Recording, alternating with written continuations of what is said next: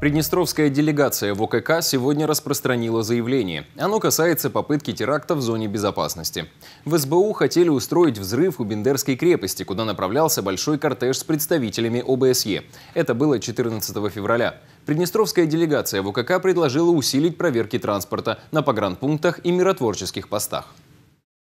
В СБУ заранее знали, 14 февраля в Приднестровье приедет большая делегация ОБСЕ. Это порядка 20 иностранцев во главе с действующим председателем, министром иностранных дел Северной Македонии Буяром Османи. Теракт планировали сначала на подъезде иностранцев к Бендерской крепости, потом на выезде. Все это в зоне безопасности. Сдетонировать должен был автомобиль, начиненный взрывчаткой. Об этом подробно говорится в заявлении Приднестровской делегации. Его распространили на заседании ОКК.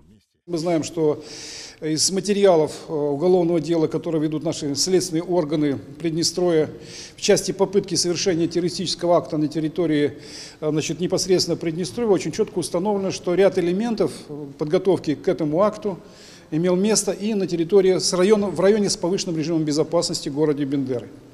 Это, в частности, попытка значит, покушения на представителя миссии ОБСЕ 14 февраля. И второе, это значит, непосредственно изъятие транспортного средства, обнаружение изъятия транспортного средства, начиненного непосредственно гексогеном а, значит, в одном из гаражных кооперативов города Бендер.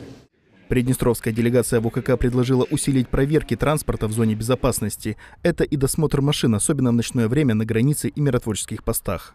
Мы прекрасно знаем, уже это установлено в контексте, скажем, тех значит, следственных действий, которые были проведены, что именно гексоген поступил вне пунктов пропуска на территорию Приднестровья и зону безопасности.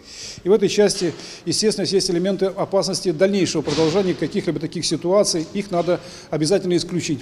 На заседание ОКК сегодня снова не приехал сопредседатель от Молдовы, зато накануне дал интервью молдавским СМИ. Там всячески отрицал предотвращенные в Приднестровье теракты и критиковал миротворческую операцию. Сегодня в ОКК без сопредседателя от Молдовы заслушали доклады Объединенного военного командования. Ситуация в зоне безопасности под контролем. Именно как под контролем миротворческой составляющей и под контролем Объединенной контрольной комиссии.